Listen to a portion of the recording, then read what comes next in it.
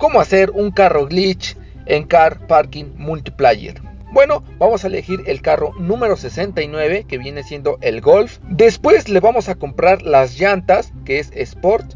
Y bueno amigos, los invito a que se suscriban, de verdad, suscríbanse y activen la campanita de... Bueno, después de eso nos vamos a venir aquí que viene siendo el taller, aquí está la ubicación. Vamos a bajar la rampa, nos vamos a subir. Bueno, una vez estando aquí, lo vamos a poner el carro en manual. Y bueno, vamos a acelerar todo a fondo, ¿vale? Le vamos a pasar a segunda, pero no vamos a dejar de acelerar. Segunda, tercera, cuarta, quinta, ahí vamos, lo aceleramos, nos dejamos de acelerar.